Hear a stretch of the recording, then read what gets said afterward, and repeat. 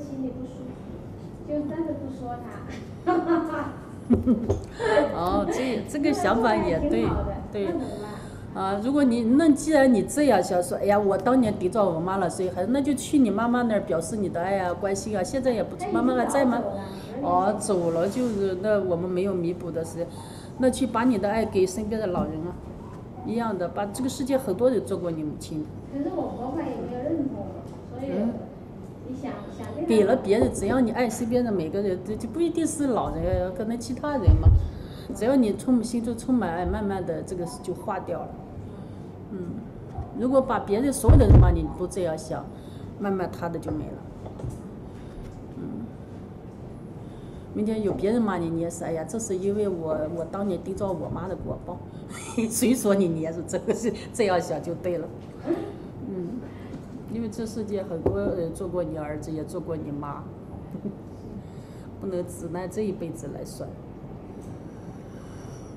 然后说他是学管理系的，出来做点什么好？他觉得好像我问他，他没有一个人生方向的。他出来再说，你有啊？你都没有，你活了四十岁都没有，还说这个不是说你没有，不是说你妈妈没有，是大家都没有。人生这个方向真的很难确立的啊！不是说你现在，我们能确立的只是一个将来说找一份工作啊，先先最起码要立足嘛，要养养活自己嘛。你大学出来，你要有一个方向，说，哎，我最起码要站在我能够自己养活自己，自己有家，能养家糊口，这是最起码的基点嘛。物质层面的东西解决，然后再是理想层面的，说我喜欢什么，我很想在这方面有所成就。但这个也不能说明这就是生命的全部意义，啊，因为我们会随时会变的。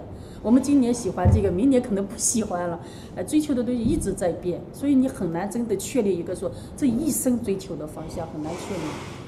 哎，就是这样。很多人只是说出来工作了，挣一份工资，哎，然后呢就匆匆忙忙结婚了，有孩子了，一辈子就就又就就就又住在这个家庭为孩子忙，忙完孩子恩恩怨怨这个家庭啊，可能离婚了，可能怎怎么样，然后反正能能走到终老的这一辈子就这样，就这样很很难确立，因为就是吃喝拉撒睡解决了，然后再。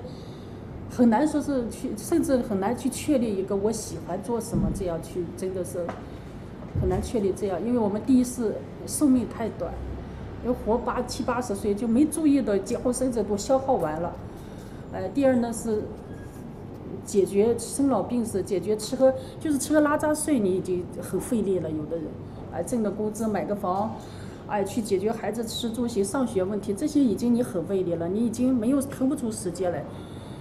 呃，去谈理想、谈抱负了，想清楚这一点，看清楚了，生命就是这样的，这一辈子就这样的，看清楚了，然后去做。那么这个看清楚就是一个生命的方向。你能够清清楚楚看清楚，你活在一个什么样的世界，活在一个什么样的人生，人是什么样的，这辈子每个人怎么走，那么每个人他走的路都是你，都是你学能够学习借鉴的东西。你你能够清醒的站在这看，看这一切，不管你怎么走都没不重要，怎么走都不重要，你选择什么走都不重要，嗯，但是有有一些就像我们这里人是选择了，当看清楚这些东西的时候，觉得这个没意义，可能说我这样子生活没意义，那么选择一个有没有从这种生活里解脱的方法，让我不再这样活下去，像每一个人这样活下去。啊，就是就是挣点钱，然后吃喝拉撒睡，然后出去玩，然后养家糊口，然后上有父母下有孩子，然后就在这里边情感上挣扎。我能不能不这样？因为每个人都这样，然后走向死亡。我有没有能力活得像佛陀，或者是不这样？有没有能力看清楚我从哪里来到哪里去？假如我死了，我要到哪里去？而且我的生命最终第一个从哪里来的？我从哪里来的？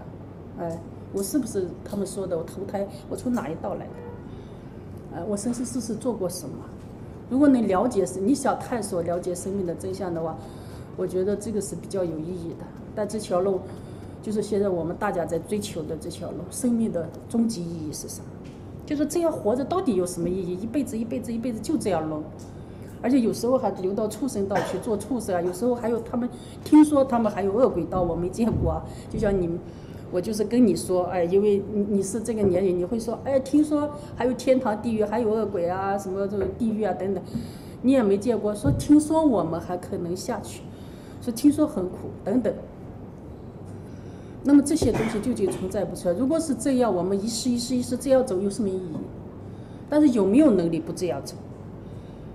佛说有，有有些圣人说有。有能力从从死亡里边解脱，从生老病死解脱，那是个什么样的意义？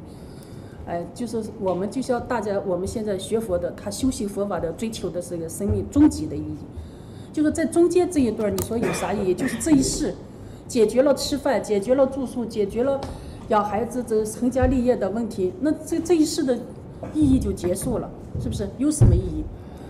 没有意义，说句老实话，有啥意义？是你赋予了他什么？你觉得你这一生活得很灿烂，你就这就是意义了。你觉得没有不灿烂，不管是渺小还是什么，你不灿烂，你没开好，你这个花开的不灿烂也是意义啊。平凡也是意义啊，高尚也是意义，卑卑鄙也是意义啊。这都这一小段是没有终极的意义。生命终极的意义，其实如果从修行来讲。就是我们在整个卖茶的轮回之中，就是卖茶，就是几十亿年前一直在六道里边循循环，一轮回呀，就做了这个做的，一直一直，终极的意义，其实我们在寻找一个什么？我们想回去，这才是生命终极的意义。就是说，我们忙忙碌碌，内心深处永不满足，心灵永远在找归宿，就心里边走到哪都没有归宿感。很多人结婚以为心就放到家里了，其实放不进去的。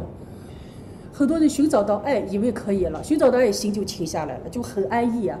但是你会发现，那个爱会变，人世间的爱会变，那个会移情别恋，你会被背叛、被抛弃，所以那一刻你就又慌乱了，因为心找不到归宿。所以这个归宿在哪？在生命的原点、源头。